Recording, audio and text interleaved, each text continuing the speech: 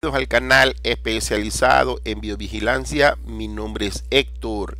En esta oportunidad vamos a compartir un video especial sobre las cámaras IP audios de dos vías. ¿Por qué les digo especial? Porque yo no he encontrado en internet mucha información sobre el cómo se instala, cuál es el diseño, qué tipo de micrófono puedo poner, qué tipo de parlantes puedo poner, etcétera. Les comparto mi número de mi WhatsApp. Estamos en Guayaquil, Ecuador. Somos una empresa que se dedica especialmente a todo lo relacionado a la videovigilancia. Si necesitas una cotización, una visita técnica, una asesoría, me puedes escribir.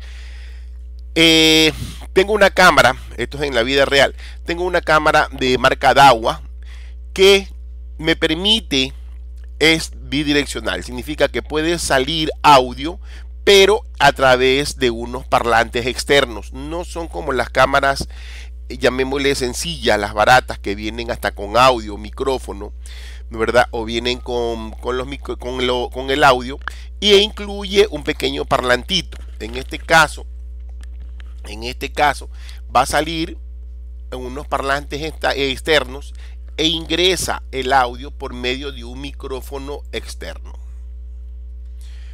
Eh, compramos la cámara y se nos vienen algunos conectores y nosotros no sabemos cómo se instala. Cómo se instala. Sé que es una cámara eh, costosa, que es muy buena, graba 30 frames, pero no sé cómo armar esta parte. Entonces tenemos uno de los conectores que es RCA, es un audio de entrada. Tenemos un conector RCA que me dice audio de salida.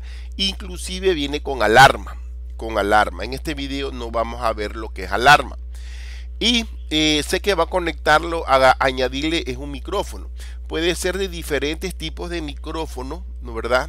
Diferentes tipos de micrófono, pero en sí no sabemos cuál es el mejor. Esa es la pregunta clave, ¿no verdad? Queremos saber la sensibilidad.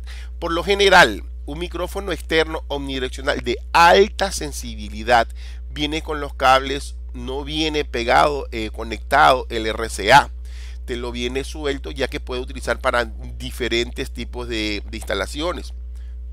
es una, ¿Cuál es la diferencia? Fíjense que la relación es de 85 dB. 85 dB. Si yo comparo con el micrófono tradicional, es un micrófono externo, pero apenas tiene un 35. El uno tiene 85 y el otro 35. Significa que el de aquí tiene mayor alcance, más alcance de lo que viene a ser el sonido. Bien, entonces tengo un audio. Este es el que yo tengo que es un micrófono omnidireccional de alta, de alta sensibilidad, parecido a este, y yo lo deseo es colocar en la cámara. Yo lo quiero colocar en la cámara para que me capte mejor el sonido, más distancia. Entonces, yo cuando recién lo vi no me dice nada con respecto a los colores no me dice nada con respecto a los colores, no sé cuál es fase, cuál es neutro, cuál es audio y se me ocurrió abrirlo. Si se dan cuenta aquí tiene una tarjetita más grande comparado al micrófono tradicional, ¿no verdad? Que casi ni se ve la tarjetita aquí. y yo veo que me dice que el rojo es el positivo o fase, el neutro es el negativo y A el audio es el de color blanco. Positivo, negativo y audio. Entonces el objetivo final es que mi micrófono de alta sensibilidad sea conectado y funcione de forma correcta en la, con la cámara. Si funciona y funciona muy bien, muy bien. Y se alcanza una buena distancia. Entonces, yo sé que los colores me van a indicar y me está indicando que el rojo es el positivo, negativo y audio. Eh, yo lo que lo hice fue a través de una bornera yo uní una bornera. El micrófono tiene que ser encendido. Entonces, para encenderlo, necesito una fuente de 12 voltios. Yo la puedo colocar aquí como que fuera un DC. Positivo, negativo y le puedo haber conectado, ¿no verdad? Pero ya vamos a tomar en cuenta algo. El algo es que yo me percato que estoy pasando un cablecito aquí, lo que viene a ser de un cable de audio, propio de audio, que es mucho mejor que el cable UTP, yo le estoy pasándole también es al neutro. Entonces tengo la cámara, tiene un conector RCA de audio de tipo de hembra. Tengo el micrófono que sabemos que tenemos un cable audio, fase y neutro.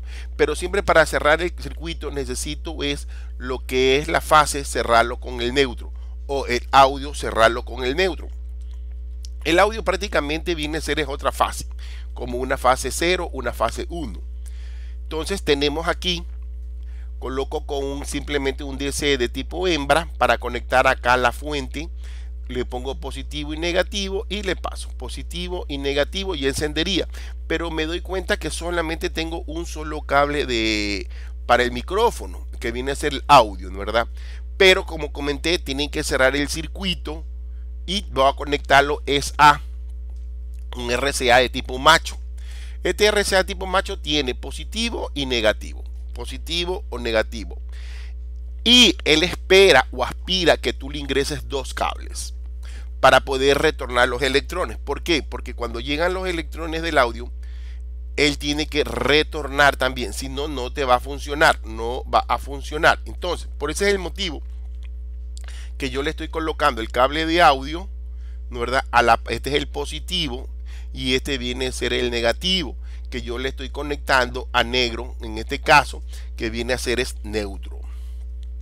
Yo le conecto a neutro para poder hacerlo es funcionar y funciona correctamente. Entonces, haciendo un resumen, tengo el micrófono unidireccional de alta sensibilidad, lo voy a encender de, con el positivo y el negativo a través de una un DC hembra le conecto la fuente y me enciende. Pero me precato que el blanco, que es el audio, va solo y yo necesito cerrar el circuito. ¿Cómo lo cierro? Lanzando o colocando el cable de audio, en este caso el, negativo, que es neutro, lo mando a neutro. Tenemos diferentes tipos de, micrófono, como conversamos, pero también podemos tener este tipo de micrófono que ya incluye, que ya incluye el RCA pero yo voy a tener, eh, llamémosle el inconveniente, que voy a tener de los dos mismos lados, tanto del lado del micrófono como el lado de la cámara, voy a tener un RCA de tipo hembra. Entonces yo necesitaría es colocar un adaptador RCA de macho para poderlo. Esto es más sencillo, pero no son eh, micrófonos de alta sensibilidad. Con respecto a la salida, estas cámaras, llamémosle que son yo le puedo añadir unos parlantes de mayor fuerza. Significa que yo a través del celular yo puedo llamar la atención a una persona, puedo eh, comunicarme a través de la misma cámara utilizando los parlantes. Dependiendo de los watts o de la potencia de los parlantes viene a ser, llamemos la fuerza que puede tener. Eh, sabemos que tenemos un tipo de conector, normalmente actualmente nos viene eh, los parlantes con USB o este tipo de jack este tipo de jack que son un poquito más grandes. Estos son los jack que puedo encontrar normalmente en lo que es audio, pero nosotros en los parlantes encontramos este, este jack con dos líneas, con dos líneas. Este es un jack balanceado, estéreo, tiene dos líneas. Eso es lo que significa eh, las dos líneas. No vamos a entrar en este detalle, pero también me va a encontrar la sorpresa que voy a tener es los dos conectores del mismo tipo con respecto es al audio también de tipo hembra hembra en lo que es la cámara y macho con respecto es a los parlantes. Entonces yo necesito es un adaptador jack mono hembra a RC macho. Eso donde lo encuentras eso lo compras en las electrónicas. Espero que te haya gustado este video tutorial que las cámaras llamemos de gama alta te va a permitir que tú le coloques un parlante y un micrófono a tu gusto. Por lo general uno compra ese tipo de cámaras cuando vas a colocar eh, micrófonos omnidireccional de alta sensibilidad o parlantes para que se pueda escuchar a una mayor distancia. Espero que les haya gustado. Saludos desde Guayaquil, Ecuador. No se olviden de visitar mi página web que en estos días voy a actualizar nuevo firmware.